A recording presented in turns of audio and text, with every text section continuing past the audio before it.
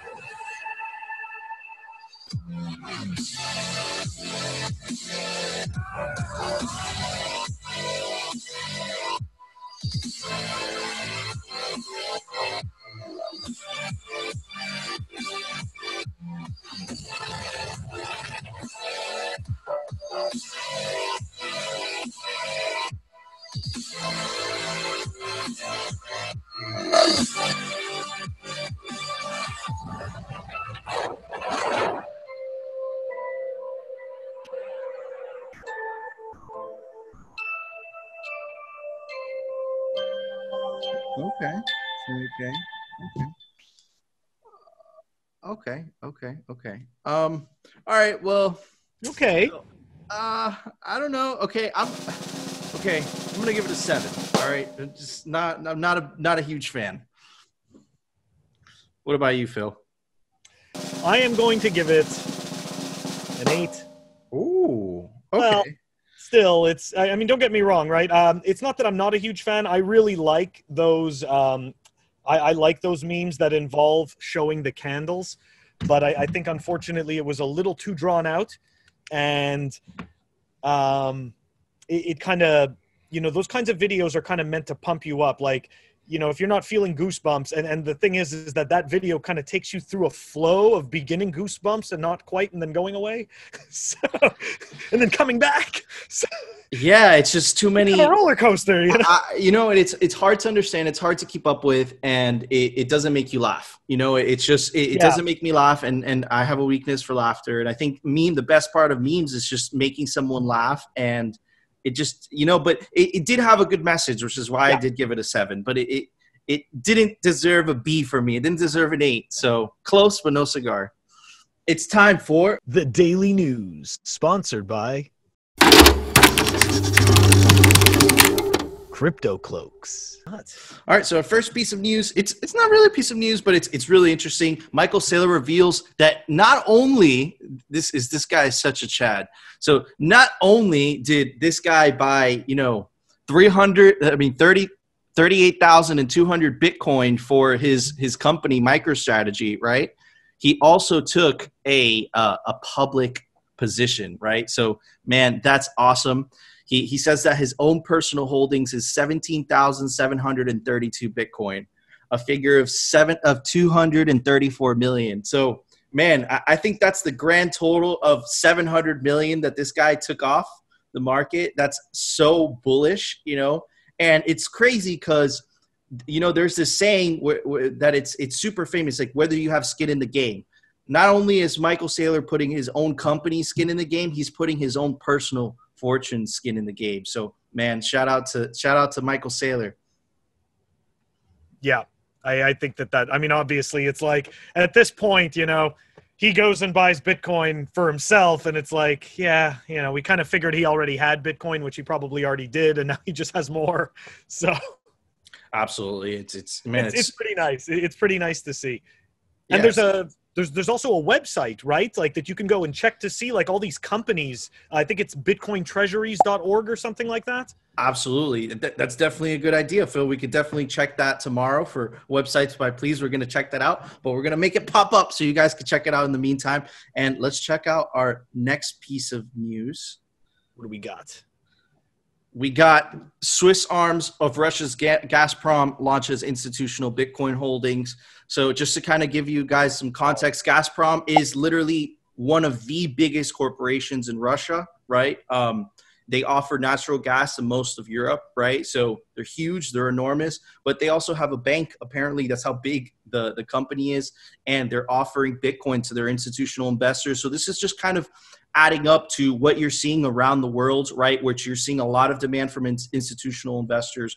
So, you know, let's see where this goes, Phil. But this is super bullish, man, because when we were in 2017, none of this infrastructure was in place, right? And the fact that we hit 20K, right? And now all this infrastructure is, is in place and the hash rate is 10 times higher makes me extremely bullish.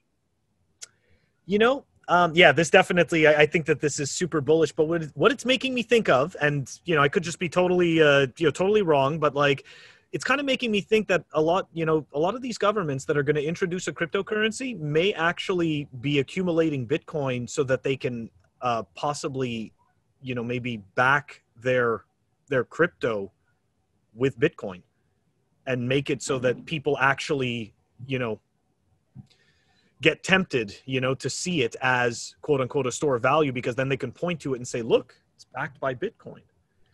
So that that's kind of it's interesting, right? I think it's interesting that there's you got these kinds of you know these kind of entities that are right away deciding to hold Bitcoin, and then you have other entities they're not mentioning it, and instead they're mentioning their own, you know, digital shit coins, right? And it just I I'm starting to I'm I'm starting to think that there's going to be a method to this madness so okay, so because I just don't see why people would use their shitcoins unless yeah. they like they, they have to. I think they have to give people a value proposition now that Bitcoin exists. I mean, do, do you think that like do you think don't you think that central bank digital currencies is a way for central banks to kind of circumvent the the the use of people using Bitcoin. What are your thoughts on that? Yeah, see, so this is, you know what? I mean, like, this is where I get, you know, slightly confused because, you know, the average person doesn't really care about these things. You know, they, they just, they just want money. So I, I think that, you know, these central bank currencies, digital currencies, they don't need to be backed by anything really, right? But I'm thinking that it's almost like the governments themselves are hedging by buying Bitcoin as well. So it's like they're going to give their population the garbage, right? But they're going to hoard the as as we know, right? You spend the garbage money, you hoard the good money, like they do with gold today. Yes. Right. Okay. All so right. maybe something along those lines. And then I guess the the less nefarious governments will be possibly backing their digital, you know, their digital garbage with Bitcoin. So, um, Phil, it's uh, there was some software release today. There was a big software release Yes. today. I always say that, but there's always today. there's always a big one. Software releases. Okay, so today was actually huge coming out of Chain Code Labs, believe it is. Oh no, sorry, Lightning Labs. Um, all right, so they released the peer-to-peer non-custodial marketplace called Lightning Pool, where Lightning node operators can buy uh, uh, can buy and sell access to channel liquidity. So I am definitely going to be checking that out. That is very cool. Um, I, I know that um, there's some mixed feelings on it, so we're going to take a you know we're I think it's cool in terms of progress, but we're going to continue to read into it, and it might even become part of the news. Absolutely. And that'll be down in the show notes. Thanks, Phil. Thanks. Guys, the election is today. You guys are going to see this video afterwards. So you guys are going to know who the winner is by the time you guys see this. And just a quick message look, doesn't matter. It, it really doesn't matter who won because that doesn't affect Bitcoin, right? So if, if you're either, whether you're in a good mood or whether you're in a really bad mood, you know, just look up because the, when you put your money in Bitcoin, you're opting out, right? So Yep. when you're when every time you buy Bitcoin, it's another vote, right? So you know if you're not happy with the person you voted for didn't get into power, don't worry. Bitcoin is Bitcoin should be your shining light, not some dude that you vote in for the government. You know those guys are not your friends, right? They're not going to make your dreams come true. I think Bitcoin will. I think Bitcoin is the shining light.